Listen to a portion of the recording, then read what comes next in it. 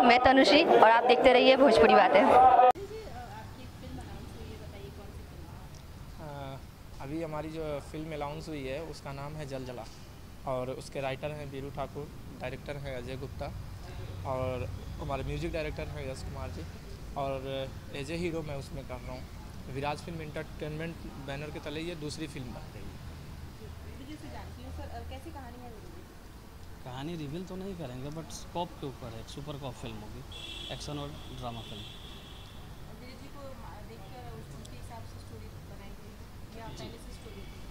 नहीं पहले प्लानिंग हुई कि हम लोग दूसरी फ़िल्म करना चाहते हैं अपने बैनर पे, और मैं चूँकि इंट्रोड्यूस होना चाहता हूँ एज ए लीड तो बॉडी लैंग्वेज उनका स्टाइल उनका सब चीज़ को रखते हुए हमने कहानी को गढ़ा है।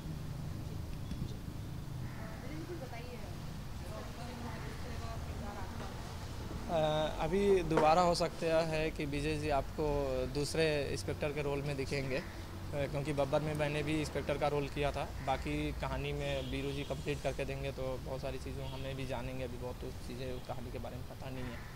और एक अच्छी फ़िल्म हम लोग बनाने की दोबारा भी कोशिश कर रहे हैं, क्योंकि एक बैनर हमारा भी इस्टेब्लिश होगा और कभी भी लोगों को लगेगा कि मतलब बिराज फ़िल्म की तरह एक अच्छी फ़िल्में बनेंगी। इंस्पेक्टर ही क्यों इंस्पेक्टर के ऊपर एसपी डीएसपी कमिश्नर क्यों नहीं?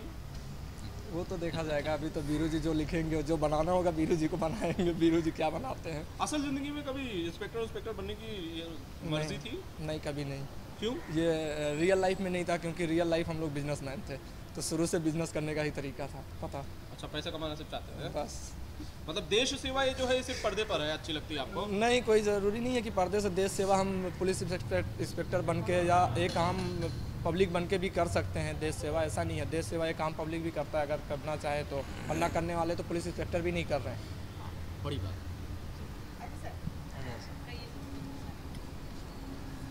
जी पूछिए।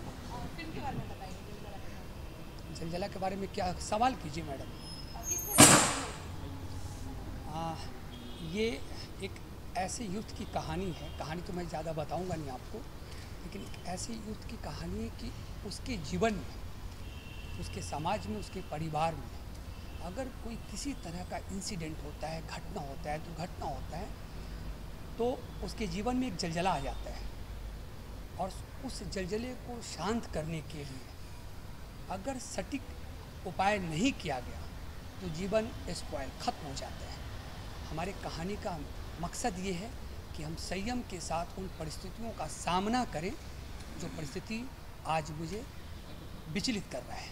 यही हमारी कहानी का मिशन है और इसी के ज़रिए हम पब्लिक को दिखाना चाहते हैं। मैसेज कि हिम्मत कभी हारनी नहीं चाहिए जीत सत्य की होती है और हमेशा जीतती है। थैंक यू यश कुमार जी कैसे हैं आप? प्रणाम नमस्कार मैं हूँ संगीतकार एस कुमार। अरे वाह एकदम आपने सुनील पाल की तरह बोला है। कॉमेडियन बनने की राह पर है क्या? नहीं सर। बताइए ज़रा ये फ़िल्म जलजला जो शुरू होने वाली है इसमें म्यूज़िक वाली ज़िम्मेदारी आपके पास है? जी।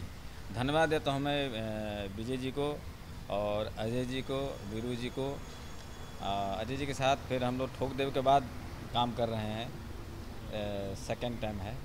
और कोशिश करूँगा अच्छा गाना बनाने की। अच्छा एक एक्शन सस्पेंस थ्रिलर है वीरू ठाकुर ने मुझे बताया मैं नहीं कह रहा हूँ। जी। उसमें गानों के लिए रोमांस के लिए कितनी जगह आपको नज़र आई? बढ़िया जगह है सर फुल जगह है सारे सिचुएशन गाने हैं। कितने गाने बैठ जाएँगे फ़िल्म में? सात गाने हैं इसमें और सब अपने सिचुएशन के हिसाब से गाने इन्होंने गुरु जी ने निकाला है और अच्छा सिचुएशन निकाला है इसमें मेहनत कर रहा हूँ कोशिश कर रहा हूँ अच्छा गाना बने। आ, वही मैं पूछ रहा हूँ कि मेहनत मतलब क्या कर रहे हैं? विजय कुमार को ध्यान में लिख के आप गाने डिज़ाइन कर रहे हैं। बिल्कुल बिल्कुल उनको देख के डिज़ाइन कर रहा हूँ कि हर करेक्टर का हर अपना स्टोरी का एक कहाँ उसमें जो जगह होता है गाना बनाने का तो मैं कोशिश कर रहा हूँ अच्छा गाना बने इसमें। अच्छा रियलिटी में जो इंस्पेक्टर होता है उसको बहुत अच्छा डांस नहीं आता है वो तो बस खाली डिशम डिशम करने ज़्यादा जानता है। तो हम्म। उसके लिए उस हिसाब से भी आपको गाने तैयार करने होंगे उसकी बॉडी के लचक के हिसाब से? जी ये अच्छी बात आपने बढ़िया सवाल किया कि बॉडी लैंग्वेज के हिसाब से ही गाना डिज़ाइन होता है और मैं कोशिश करता हूँ कि हर करेक्टर के हिसाब से गाना बने। जी। और कुछ आप अगर कहना चाहें जिससे जो मैंने नहीं पूछा। पूछेंगे तो ही बोल पाऊँ ये ज़रा विजय जी के बारे में बता दीजिए। कैसे मुलाकात हुई आपकी उनसे? फ़र्स्ट मुलाकात हुई थी संजय जी के साथ गया था मेरी पार्टी में। वहाँ मुलाकात हो गई थी। गया में? नहीं यहीं मुंबई में। पार्टी पार्टी में मुलाकात हुई थी। और संजोग बना कि इन्होंने मुझे साइन किया पिक्चर के लिए इनको धन्यवाद देता हूँ। कुछ गा के सुनाइए। क्या गा के सुना कुछ भी इस माहौल में जो आपको लगे। एक ही गाना गा दूँगा मैं अजय जी का ही गाना है वो सुना देता हूँ। नहीं नहीं आप अपने हिसाब से सुनाइए। हाँ। तो से कितना प्यार करी ले तो के ना अंदाज बा।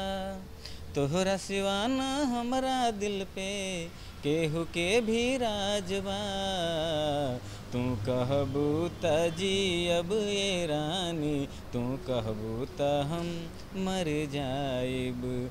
तू कहबू जी अब ये रानी। तू कहबू त हम मर आप देख कहीं और रहते हैं। अच्छा विभाकर पांडे जी, बड़े जी। ही गीतकार मशहूर। आज उनकी तबीयत ठीक नहीं है। जी। बड़ा क्रूशल टाइम है उनके लिए। पैसे नहीं हैं इलाज के लिए। आपके ही मित्र वीरू ठाकुर ने मदद की अपील की है। आप क्या कहना चाहते हैं? आप आगे बढ़ के मदद करेंगे या नहीं? बिल्कुल बिल्कुल मैं बिल्कुल आगे बढ़ के मदद करूँगा। अभी मैंने भी बताया मैंने न्यूज़ भी देखा है तो मुझसे जो बन पड़ेगा मैं करूँगा और दूसरे से भी करवाऊँगा। जी। बड़े गाने उन्होंने दिए हैं जी जी सबसे गाने दिए हैं और अच्छे इंसान भी हैं उन्होंने मैं देखा उनका। और काफ़ी सुना उनके बारे में, सामने से मिला तो नहीं हूँ, लेकिन अच्छे व्यक्ति हैं तो उनको मदद किया कोई भी हो गीतकार, चाहे कोई भी व्यक्ति हो और उनको ज़रूरत है, ज़रूरत पर मदद करना ज़रूरी होता है। मैं चाहूँगा हर किसी को उनकी मदद करे। यश कुमार जी ऐसा मुझे लगता है कि इंडस्ट्री में एकता नहीं है। बॉलीवुड में किसी को कुछ होता है तो लोग मदद के लिए आ जाते हैं। आपकी भोजपुरी में ऐसा नहीं है शायद। अब तक किसी सुपरस्टार ने कोई मदद अनाउंस नहीं की है। आपके किसी लिरिसिस्ट ने अनाउंस नहीं की है। हमें पूछना पड़ रहा है आप लोगों को आगे बढ़ के आप मदद के लिए हाथ हाथ क्यों नहीं बढ़ाते हैं? जो बिल्कुल मदद करनी चाहिए। मैं भी करूँगा मुझसे जो बन पड़ेगा मैं हंड्रेड परसेंट करूँगा मैंने अभी देखा है। और करना चाहिए हर किसी को करना चाहिए। हमारी इंडस्ट्री में है कि जलिस की भावना बहुत है। मैं जहाँ तक देखा हूँ मैं देखते आया हूँ मैं अपने मैं खुद जूझ रहा हूँ इस स्थिति से कि कि एक- कोई अगर आदमी आगे बढ़ता है तो उसको आगे बढ़ने नहीं दिया जाता है नर्सिंग में। अच्छा फन्ना दी मैं उसको नहीं ना उसको निकालो उसके लो लो। आपके साथ कभी चल ऐसा रहा- हुआ है? बहुत बार ऐसा हुआ तो हो ही रहा है मैं तो लेकिन इसके लिए समय आएगा मैं बताऊँगा। अभी मेरा समय नहीं है बताने का ये।